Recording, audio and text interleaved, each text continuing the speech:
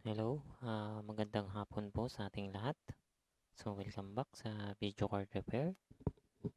Ayan, so may re-repair tayo dito.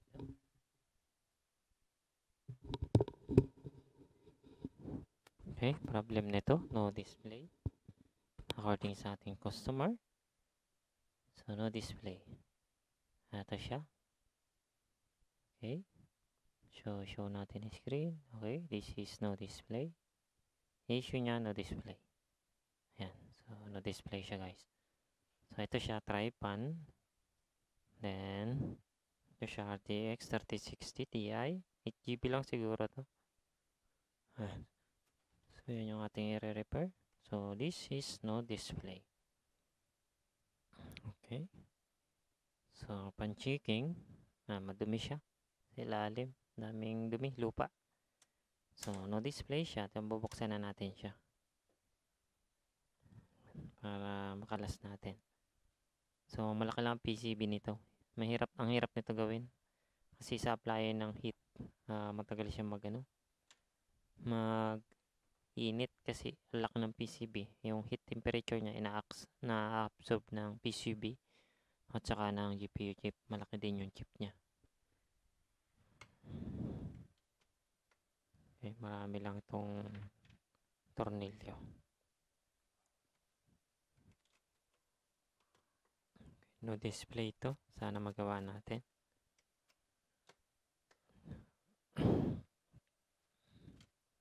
Tingin ko baka dumi lang. Madumi. Saka thermal pad to mga yan. Thermal pad residue. Kalimitan kasi. Nakakalimutan residue lang. Huwag lang may butas o masunog. Kasi may dumating sa akin ito. Ganito rin siya. Same, same itsura. Ah, kaya lang naging ano niya is mas mataas lang siya kasi 3080 siya. Tapos 10 GB. Sunog siya. Pero ganito din yung design niya. PCB, ganito. Yan. Magkakaparas lang yan eh. 3070, 3080, 3090 na gantong modelo. Na trio pan. So, parehas lang siya ng ano. Ng PCB design. So, nadagdagan na lang yung mga pyesa pag, sa pagbabago ng specification.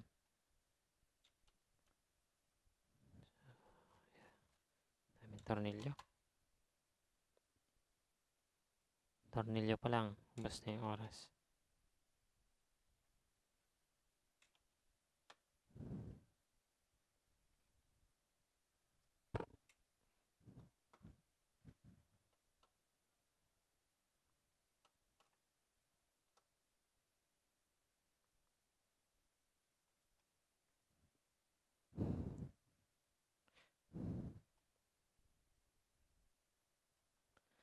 Yung nagpagawa ng 3070 na gantong design, uh, dinonate na lang kasi sira na yung ano eh. Yung isa, butas yung PCB. Galing na rin sa ibang tech. So, dinonate na lang ng mga may-ari. Ayan, dinodonate na lang nila. Kasi di naman nila gagamitin eh. Ayan. So, meron pa ito dito eh, sa likod. So, dami niyang ano eh. Dami niyang tornilyo.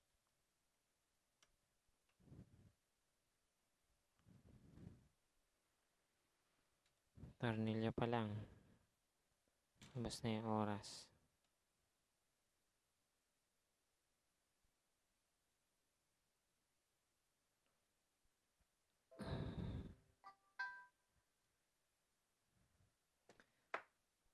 Okay, super dumi niya. Lapit natin yung camera. Ano siya can see. Ah, dumi residue na. Basa. Tapos namin lupa. Okay. So buksan natin. Ang kapal lang ng thermal pad na ginamit niya ito. Okay.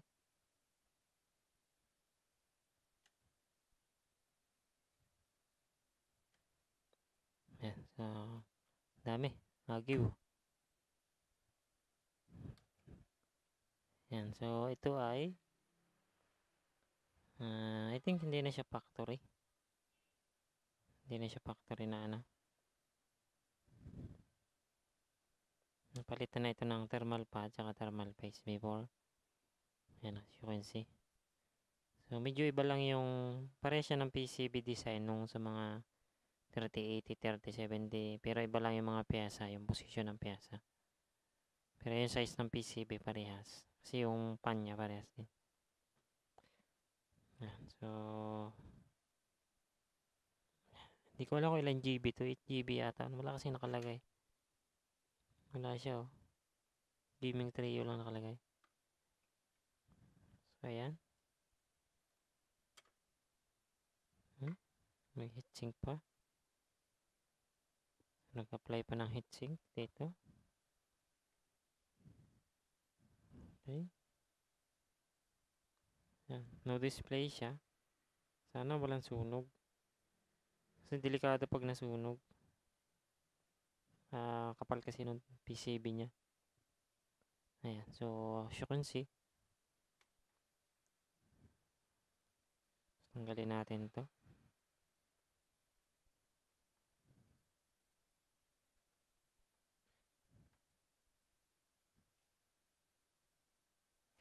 Saka ito.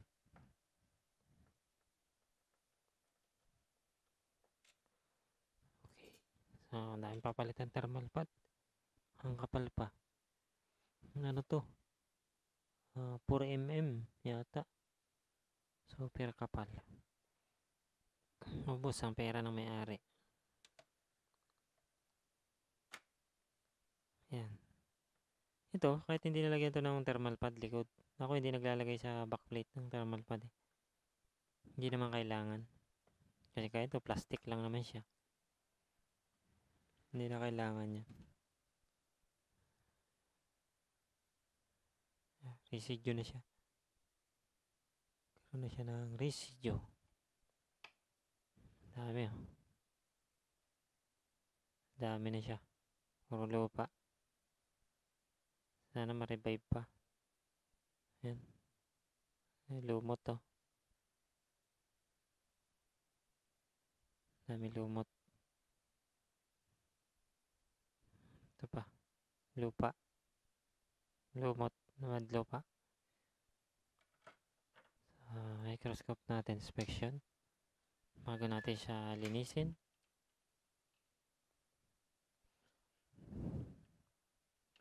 Ano siya can see? Ayan yung lupa niya. Ang lumot. Okay, this is no display.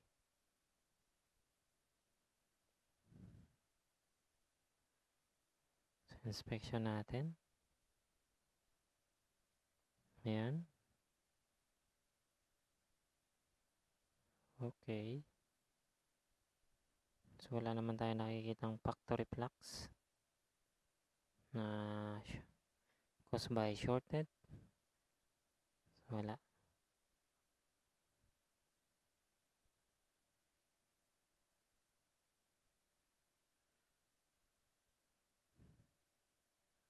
So, residue nangyari dito.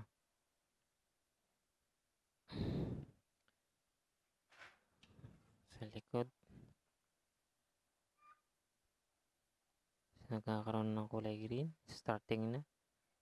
So, kailangan na talaga siyang malinis. So, sonic cleaner lang katapat niyan. Ultrasonic. Kaya may patay pang ano. Gagamba. Ayan. May gagamba pa. Ayan, no? Yung residue ng ano. No, pumapasok na sa ilalim ng GPU chip.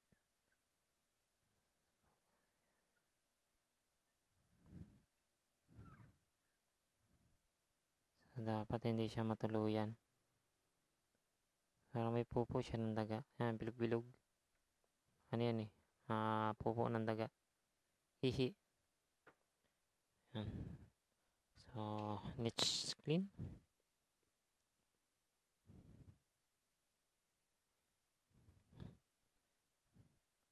Clean up na natin.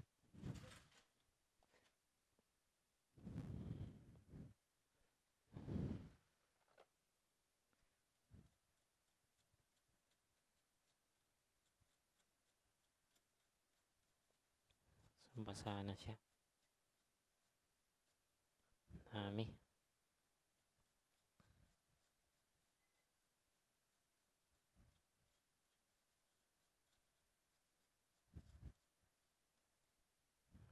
Okay, yan ang cause ng no display. Ang residue.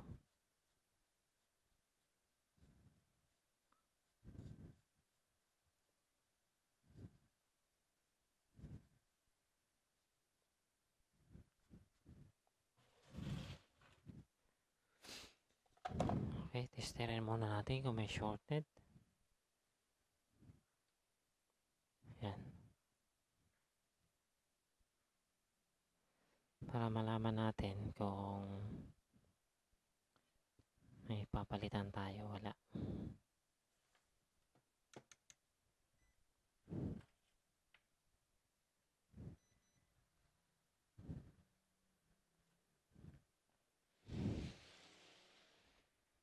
Okay, this is, I think. Okay, hindi natin alam kung ano yan. Value. Okay. Oops, shorted. Hindi tayo dyan. BRM yun, I think. Sa memory. Okay, good. 12 volts yan. PCIe. Ah, external power supply 12 volts. So, okay itong dalawa na to. Tapos, okay din to. To ay 12 volts siguro to or I don't know. Wala tayong schematic. Nako, shorted. So, ito, possible nito 1 volts to. Tay tayo dyan. Try nga natin yung ano. Ito. Yung mga gates. So, okay. Good. Din siya. Ah. so, dahil sa residue, possible sira yung ito, maitim to. Ah, nangitim-itim. So, baka dahil sa residue nasira. So, meron naman tong thermal pad. Ah, wala pala siyang thermal pad. Oh. So, kaya pala siya maitim to. So, wala siyang thermal pad. Ito. Hindi siya nilagyan. Ayan, as you can see, so medyo pangit yung design. So, hindi siya nilagyan ng thermal pad dito. Kaya umitim siya. Ayun, nangitim. Dahil walang thermal pad dito. Dito mayroon. Ayan. So, yun yung naging itim siya. Possible na damage nag dahil sa overheated ng heatsink toasted siya. Ayun, yun, yun lang yung ano. Nakawawa siya. Okay. Ah, delikado. Shorted ang ating 1 volts. Ang ating BRM. So, delikado ang ating GPU chip or ano. Yan.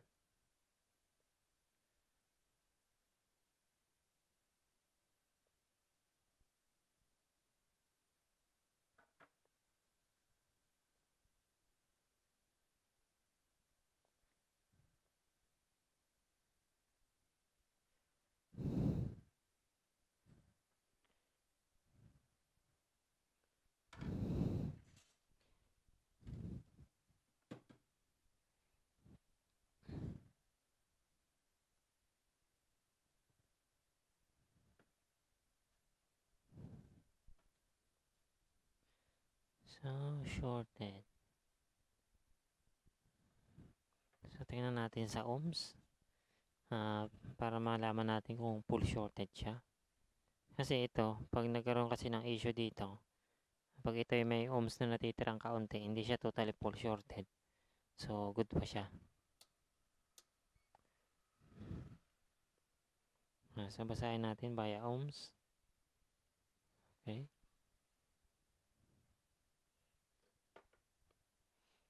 So, para malaman natin kung full shorted siya o hindi.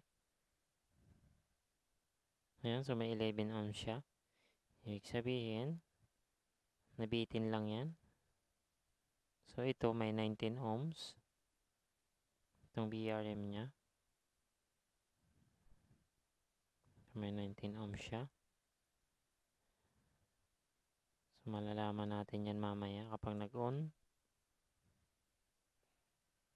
So, wala naman akong nakikitang shorted. So, ma ang reading lang nito ay hindi maganda. So, possible kung sira nga yung mga VRAM isa yung issue. So, kailangan natin siyang isonic cleaner. Okay? So, sonic cleaner ko muna siya guys. Update ko na lang kayo later.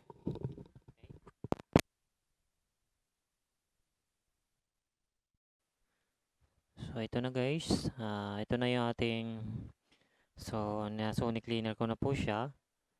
Ayan. So, fully clean na po siya as you can see. Ayan. Naisa lang natin sa ating sonic cleaner machine.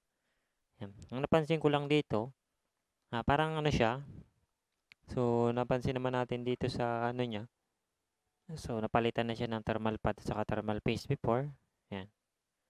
Ayan. As you can see. Ayan. Hindi na kasi ito yung original eh. Ang original kasi na thermal pad, so yung design niya ay square. Square yung pinaka-design niya, tapos medyo malaki siya. Pag original na thermal pad, ah, thermal paste. Yan din, ah, hindi ko sigurado kung na-repair na ito o hindi. Ayan, napansin ko kasi dito, ah, nung kinilining ko siya, tapos in-applyan ko na, ni, nireheat natin siya, tawag dito, yung tinuyo ko siya. So, may lumalabas dito ng mga flux dito, saka dito sa area na to. Ayan, may lumalabas na flux dito. So, flux po siya, hindi po siya residue, kasi malapot po siya. Then, kapag hinaano ko ng panghinang, umuusok siya ng parang flux. Yan, natutunaw. Then, tumitigas po siya. Ayan, so, siguro, ano na to, ah, kasi wala naman ng seal yung ano eh, yung tawag dito, yung kanya mga tornilyo kasi, wala naman seal na. Yan. Nung binuksan ko kanina, wala na siyang seal eh. So, possible na na-repair na siya siguro. So, hindi natin alam.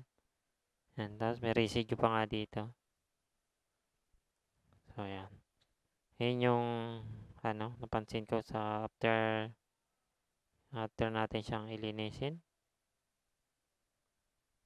Yan. So, ang gagawin na natin ay titesting na natin siya. Yung magdi-display o hindi. Kung hindi pa rin, so sunod natin gagawin, testing natin. Uh, so check natin kung shorted yung ano, kung shorted pa rin. Pero upon checking, hindi hindi siya totally shorted. Uh, ito kasi hindi to micron, ang ginamit na memory dito is uh, Samsung. So ibig sabihin mababa ang value nito. Kung nagbabase rito sa So, mababa yung resistance nito. Kasi maano siya eh, mic, uh, hindi siya micron. Ang micron kasi, ang voltage supply niyan is nasa 1.5, 1.3, 1.5 ganyan. Pag uh, Samsung, mababa lang po. Mas pinakamababa po yun. So, yan. nagbabaser siya. So, ganun pa rin. So, pero makikita nyo naman reading, hindi naman siya totally shorted kasi may 2, ano lang siya, 0.0 ano. So, pag tinilagay naman kasi natin siya sa ohms, so may reading naman po siya. Yan. So, meron siyang 9 ohms. Then, ito ay, meron tayong 19 ohms. So, ibig sabihin, na totally shorted siya. Yan. Uh, ganun po yan pag ano. So, ang totally shorted yan is, ano, talagang uh, 0-0. O kaya, hindi man siya 0-0, siguro, nasa ano siya? Nasa mababang value na halimbawa nag-change value na siya. So, may gaway na pusa sa labas. Yan siguro nag-change value na siya ganun. So testingin natin siya para mag-test voltage checking tayo kung anong mga ano nito. Wala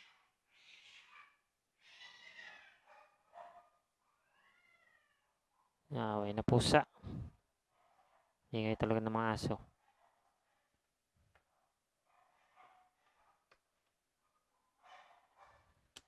Okay. So, mag-ano tuloy pusa. Sa record natin, nasasama siya.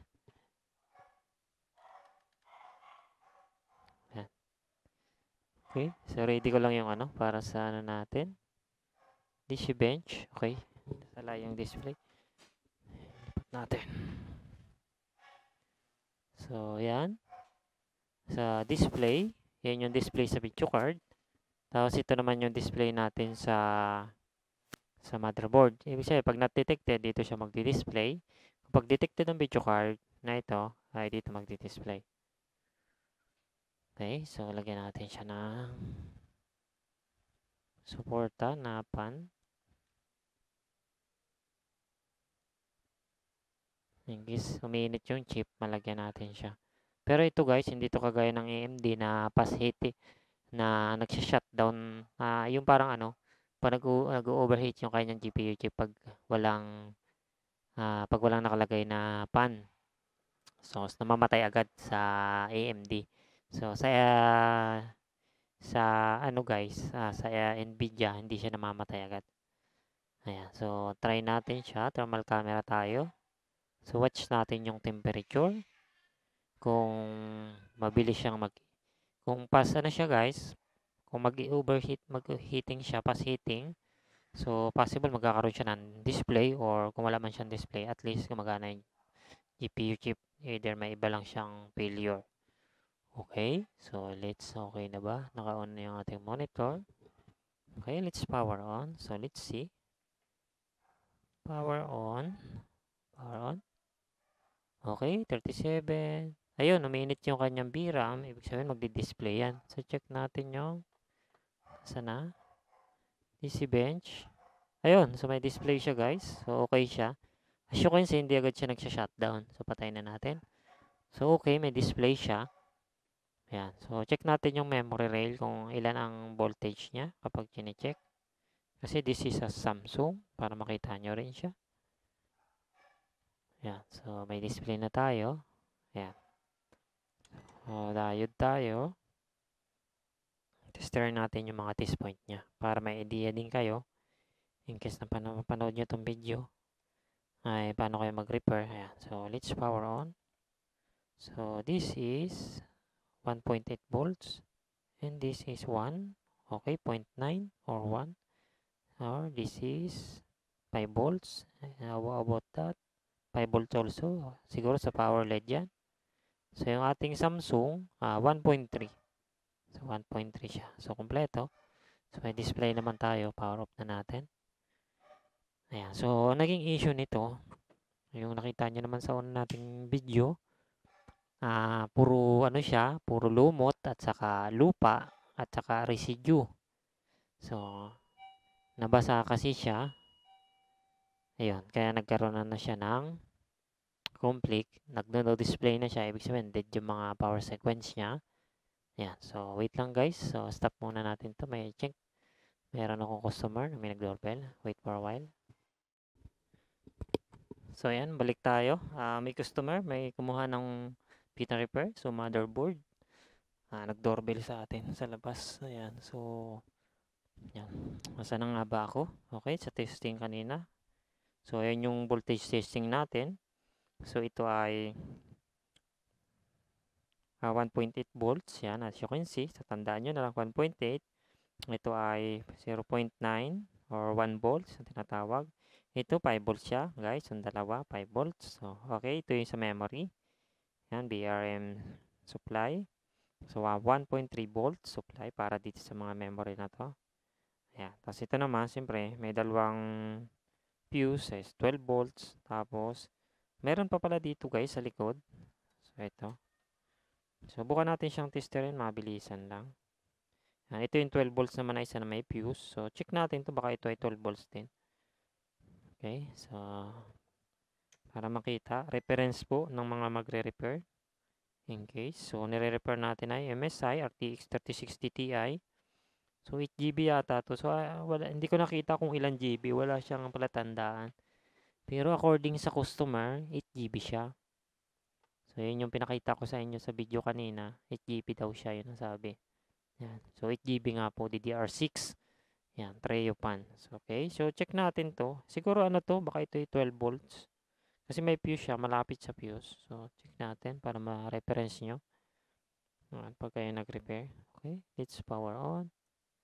Okay, so let's check. Yeah, 12 volts po. This uh, PCIe, 12 volts power rail. So, ayan. Okay na siya. Okay, display. Ayan, okay na. Display naman doon sa ano ko. So, ang gagawin ko na lang dito guys, kasi this is, nawalan siya ng display. Then, ready na to for testing. Kaya lang, hindi ko pa siya agad matitesting kasi waiting, waiting pa na, chat pa natin yung may-ari. Yan, kung kasi magpapa-approve tayo ng uh, thermal pad kung magkano. Yan, kasi minsan nagkaka-issue kasi sa customer. Uh, may gusto nila, may sarili silang thermal pad, ganyan. So ngayon, uh, sila na magkakabit kasi may warranty tayo, 7 days. Uh, kailangan kasi tayo magkabit kasi para sa warranty. Kasi anyway, fault kasi ng customer or ng magagawa ay hindi na kasi natin yung ano, minsan kasi dahil sa experience natin na ganun ang nangyayari minsan bumabalik sa atin kasi failure failure nung naglagay. Ganun kasi minsan dati. Ano eh tinatanong ko papalit ng thermal pad sila yung nagpapalit. Ngayon nagkakaroon ng issue ay uh, do sa replacing ng thermal pad so hindi marunong. Eh, de, ma, minsan mali yung nilalagay ng kapal.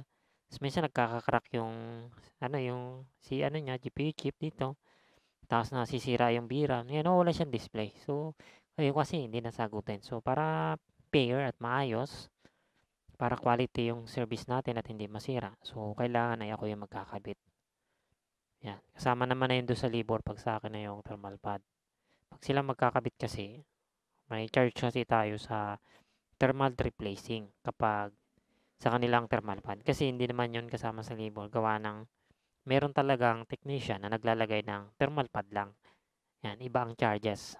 Uh, diba, nagpalagay ka para thermal, thermal paste. Iba ang, iba ang charge nun.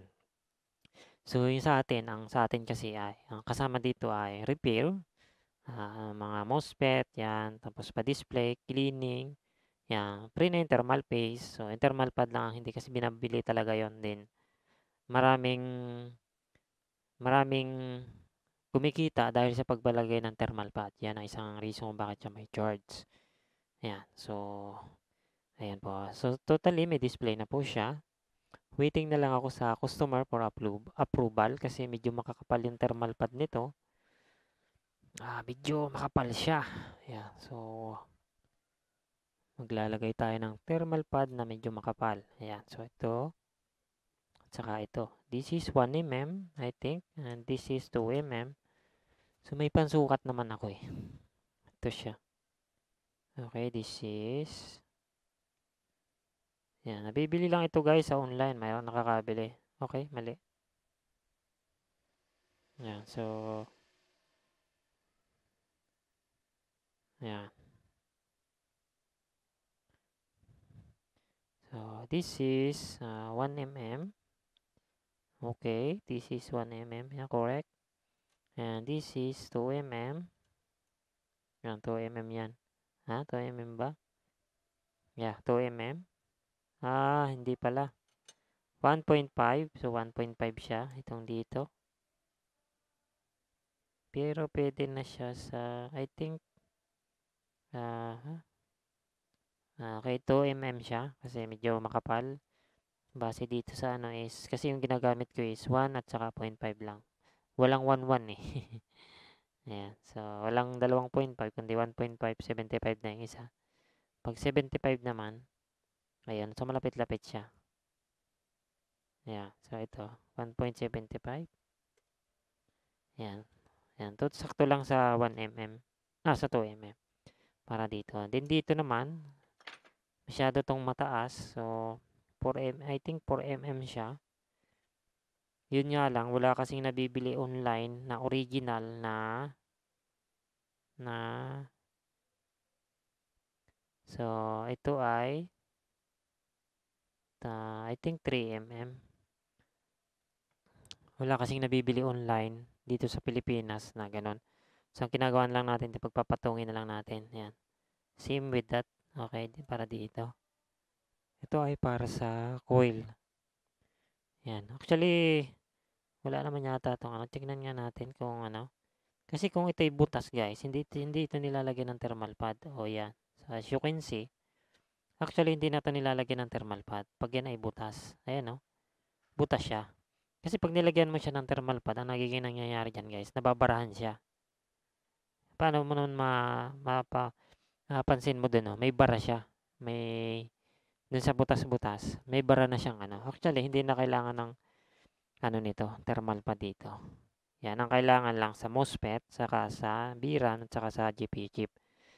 Yan lang yung mga kailangan. Pag ganito kasi mga design, pag ganyan, wala yan. Hindi na nito kailangan. Yan, so ganun yun guys. So, ah, siguro, ang ginawa dito kasi nung nagpalit, ay yun, baka nilagyan na. Nilagyan lang, akala nila ganun. Pero para sa akin kasi hindi na siya. It's a useless. So, in, makapansinin nyo nga eh, dito, may thermal pad. Di ba? Ayan oh. Dito meron, dito meron. Dito wala. Ah, 'di ba hindi nilagyan kasi ma heatsink pipe, overheated siya. Mas matisira kasi agad ito. Yun kasi yung issue eh, pag ano. Ay nahahanginan naman dito using nitong ano. Talagang umiitim lang, ah, nagkaroon lang siya ng burning gawa ng may siyempre overheated. Dito kasi may takip eh. Kaya hindi halata. Pero yung temperature niya kaya pang palamigin. Sa laki ng PCB nito eh. Ayan. So, yan. So, yan yung ano natin. Yan. So, waiting na lang guys for approval ng customer. So, chat ko muna siya. Kasi makapal yung thermal pad. 3mm to. Or 4mm. So, kailangan aprobahan muna niya. Kasi para hindi magka-issue. Okay? So, yan yung ating repair as of today. So, okay po siya. Gumagana na. So, ito po ay na-display. Pinadala ng customer. Ayan. As you can see, na-explain ko na yung issue kanina. Ayan. Para sa lahat, so muli, magpapaalam ng ating lingkod sa video card repair. Okay, nagpapasalamat po ako sa inyong pagsubaybay sa aking YouTube channel. Yan, salamat po sa mga nagsusubscribe, nagla-like, and nagko-comment. Comment lang po kayo kung may mga question kayo. So, nagre-reply naman po ako dyan kung may time. Ayan. Ayan, so salamat po sa inyong panonood. Para sa mga bagong salta sa aking channel, don't forget to subscribe, like, and comment na rin po. Okay? So, hanggang sa muli. See you on the next video. Bye-bye.